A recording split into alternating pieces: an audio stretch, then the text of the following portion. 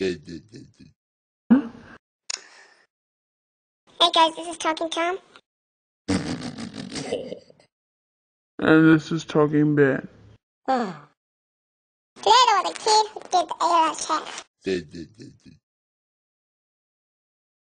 He almost died.